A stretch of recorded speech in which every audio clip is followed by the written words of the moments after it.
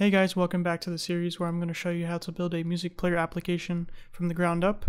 In this episode, I'm going to show you how to create a MongoDB database on MongoDB Atlas and also how to hook that up into your Spring application backend. And then finally, how to create a song model, a Java object to represent the song data that will be storing into the database.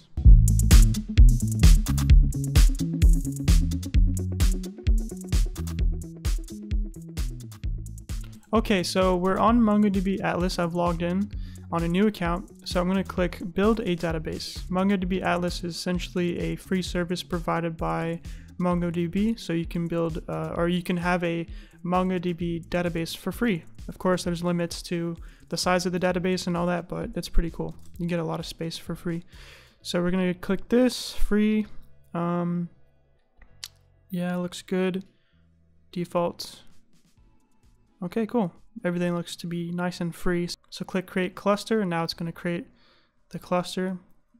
While this is going on, we can go to network access and we can add IP address. And this is how we can tell it that uh, it can be accessed from anywhere. So it accepts a database connection from any application on any IP address. And this is important so that we can easily access it. So click allow access from anywhere. It'll give you this and then click confirm. Now the application, the database should be accessible from any point or any IP address. So it's going to set that up. It'll take a second. Also, let's go to database access, and this is where we can create a user and a password to allow us to access the database. So click add new. Then we're going to select password, and we're going to give a, I'll just call mine Kody, because that's my name. And we'll auto generate a secure password. So click copy. So that's going to generate that. Um, we'll copy that to somewhere. Let me just go ahead and make a uh, text document to save that for a second. Save it right there. There we go. Okay, so now we have a username, we have a password, um, privileges, read and write to any database. Looks good. Um, we don't want to restrict anything, so that's all we need. Add user. Now it's going to add the user to our data our database uh, access. So now we can access our database that is being deployed from anywhere using that username and password. Our cluster has been created, so if we click cluster, we can go to collections and create a new collection. We can create a new database here, so we're going to call our database Music Archive. And the collection name will be songs. How about that? So create now it's going to create the database along with the songs collection so we can put song data within the songs collection. So the next thing that we have to do is, of course, connect to the database. And so that will allow us in our Spring application to upload data, find data, delete data, you know, stuff like that. So we're going to go back to overview and then click connect. And this will give us the connection details we can use to connect. So uh, connect your application. We'll say Java. Yeah, Java version, whatever. And now we should be able to use this to connect. So we'll copy this string here. And now we'll go back to our Spring application, go to application properties, and go to search MongoDB, MongoDB, uh, what is it? URI. There we go. Paste that. So that's our connection URI. And we just have to change the password to the password that we copied earlier. So copy that and then paste it here. So now, hopefully, if this is correct, it should be able to connect to the MongoDB database. Um, so our Spring application should be able to work with it. So let's set up our run configuration here so we can test to see if this connects successfully because it'll let us know in the console when we run the application if it was able to connect or not. So Spring Boot, we got to find our uh, main class here. So for some reason didn't find our main class, so we're just going to go to project and find it ourselves. So we'll go down to source, main, Java right there. So click that class and then click apply. I don't know why it's being like that. Click OK. And now we should be able to run this hopefully, even though it's being weird. So it's building it, now should run it. And there we go. Cool. So let's see what it said. There we go. It looks good actually. It says for the MongoDB, it says open connection everything looks positive. It looks like it was able to connect without any issues, or else there would be an error in the console. So perfect. So we've connected to our MongoDB database, so now we can create a song model to represent the song data that we're going to be storing within the application, or the database rather, and interacting within the application. Okay? And some other information here, the web server, the embedded Tomcat server is running on port 8080. So if we want to do anything with that, we can. So anyway, close that, close this, and let's go ahead and build our data model. So me.kodysimpson.music archive backend, we're going to create a new package called model. And this model we're going to create as a new Java class called song. This will represent the song data that we store in the database to um, associate with a, a file, meaning that it'll be storing the file name itself so that we know what file to grab from our um, storage and also the title of the song, the artist of the song that you can edit, the favorited, like is it favorited, is the song favorited, and we're gonna we're gonna send that song data to our front end to you know display certain stuff depending on what the data is. Okay, so this is just simply how we associate song data. So I'm expecting that you have a little bit of experience using Spring Data. You don't really need experience using Spring MongoDB um, since Spring abstracts it very, very well using Spring Data. All you got to do is define your model and it'll hook into the database, you know, really easily. And then you can use the methods provided by the repository to interact with the database. So to mark this as a MongoDB document that we're going to store within the database, we have to mark it, annotate it as a document. There we go. So what is going to be the data that we store within a song document? First, we're going to need an ID. So every entry into our database needs an ID, just like we would do for a SQL database. So private string ID, and we're going to mark this as ID so that Spring knows to uh, create a unique ID every time you create a new song within the database. So this will be the unique, unique identifier for our song model. Okay, so what other data? So private string file name. So every song needs a file name. So like I said before, we're going to upload MP3 files along with the song data here to our Spring backend, and this will be how you associate a song with the file that was uploaded with it so that you know what song to grab and play on the front end. So the front end will be given this entire song model as JSON, right? And so it'll grab the file name and then it'll use that file name provided to know what song to play. Okay, what other data? So private string title so every every song needs a title, private string artist. Every every song needs an artist, and then is it favorited? So private boolean is favorited.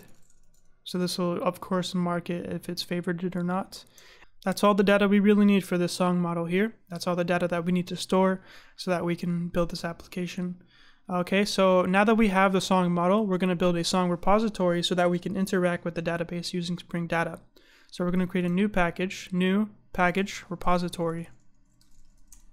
And in that, we're going to create a new interface, Java class interface, called song repository. So for this to be able to interact with the MongoDB database, we need to do extends mongo repository and then for these uh, generic things here, we have to provide first the model itself and then the ID. So first song, and then the data type of the ID rather, excuse me. So song and then string, and then import song by the way. There we go. And if you've worked with Spring before, you know how powerful this is. This little interface that we've created here will create the full CRUD functionality that we need for interacting with our song collection so that we can find songs, we can delete songs, we can update songs, and all that. This will provide that, and Spring will generate the code necessary for doing all of those things. So let me show you an example. Inside of here, if we were to do, uh, if we were to bring that in, so auto-wired, song repository, song repository, if we were to do song repository Oh, we can't because it's not static, but uh, private static. So we're not going to actually do this, but this is just so I can show you what is provided by this. Even though we don't have any methods in this interface here, it is extending Mongo repository, so this will provide everything we need. So if we go back here, we can do song repository dots, and you have all these CRUD things that you can do, these operations. You can find all songs, you can find a single song, find all by ID, you can find by ID to find a single song, you can do delete by ID or delete all. You can do update or not update, insert to insert a new song. You can save to update a song. Really, really powerful, right? So this will allow us to do everything we need to interact with the database.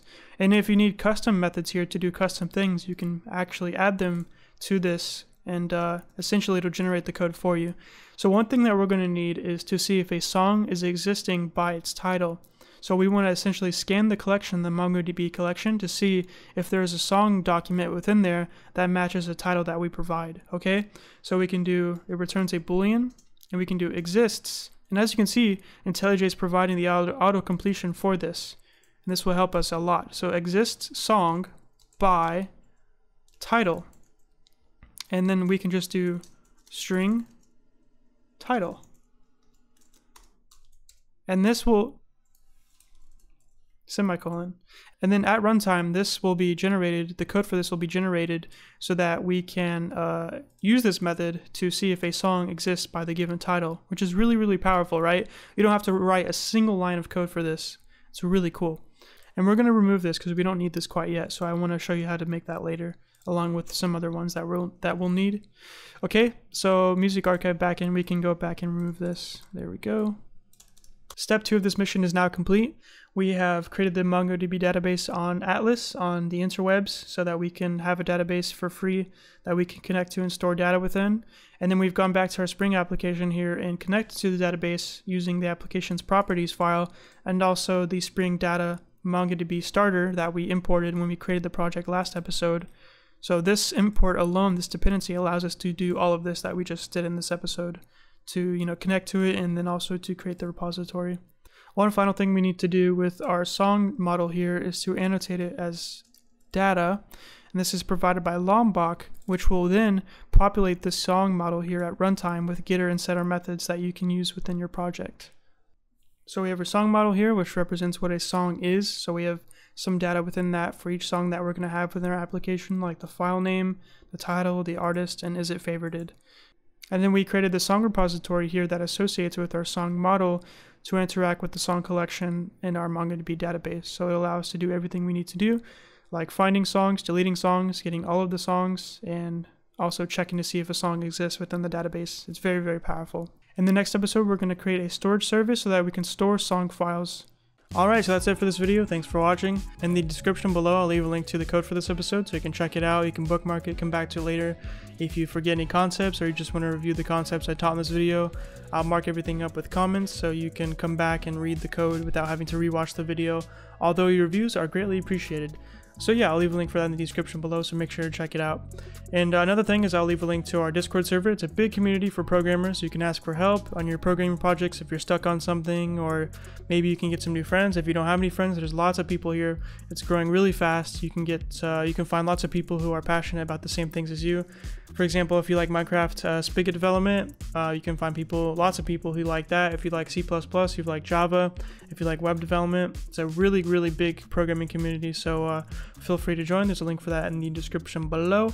And the last thing I want to tell you is that if you want to support this channel, you can click the join button below this video and you can join this channel as a member for as low as 99 cents a month and you can cancel at any time. You get some cool perks like early access to all of my new videos, a cool rank on my Discord server like you see right here on the side, YouTube members, and also you get to see yourself on the screen like you see right now.